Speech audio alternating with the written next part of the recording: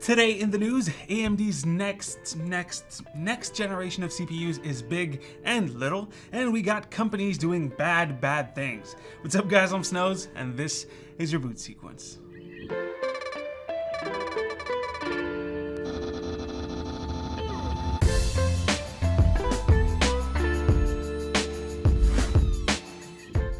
Let's get started with AMD. Yep, despite the dozens of videos about Intel that came out today, we're gonna talk about Team Red.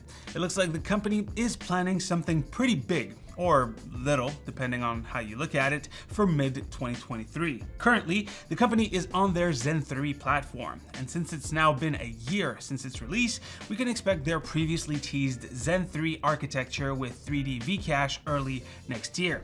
Heck, the company even went ahead and confirmed that late next year we'll be looking at Zen 4. After that though, all we had were leaks here and there about Zen 5 and Zen 4D being used together to create a hybrid architecture la Big Dot Little or Alder Lake. I made a whole video about this all the way back in June, so you can check it out over here. It was about a leaked patent.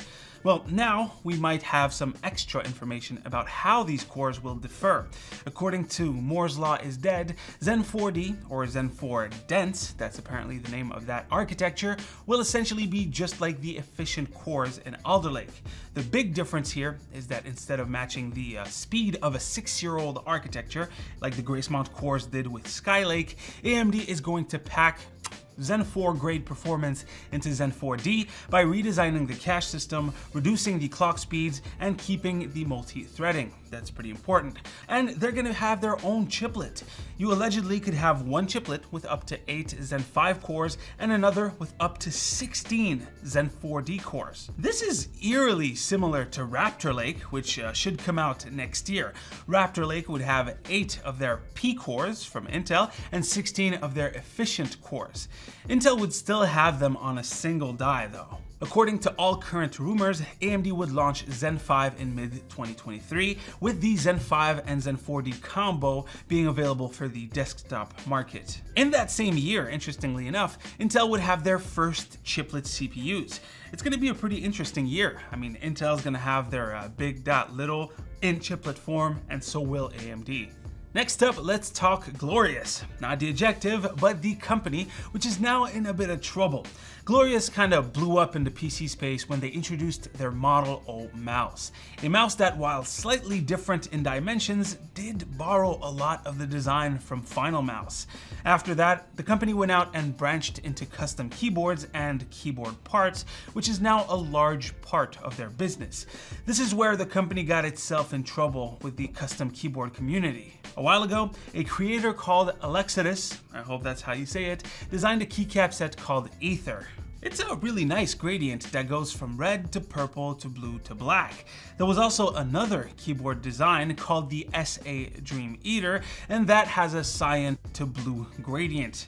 Well, Glorious kind of borrowed these designs too. They call them the Celestial series of keycaps, and well, it did not fly with the community.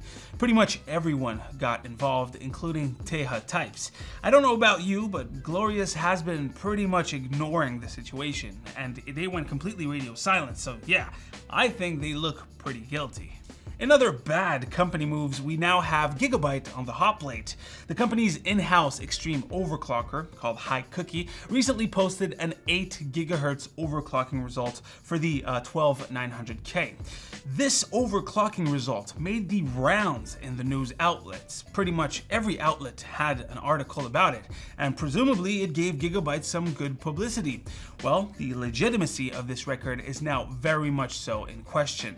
The developer of the CPU Z validator recently explained that Alder Lake overclocking had a bug that would show 8, 9, or even 12 GHz during the validation. Obviously, that wasn't the actual clock of the chip. Thankfully though, Intel managed to find a fix, but they couldn't implement it in silicon, so it came up as a microcode update. Now, CPU-Z did a lot of cleaning up to remove all of these bad OC results from their database, and they found that out of all the runs done, Alder Lake pretty much maxes out at 7 GHz all core, and for the SUI runs, which are single core, it would go all the way up to 7.5 or 7.6 GHz, plus or minus a couple of megahertz. So yeah, we're dealing with very close results. And that's the consensus across hundreds of CPU samples.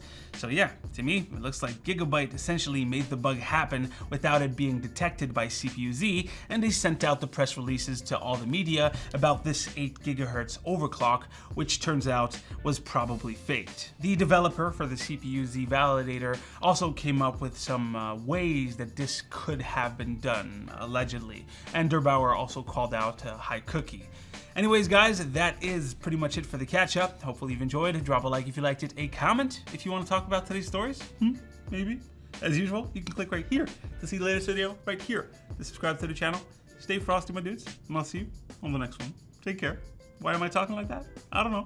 Goodbye.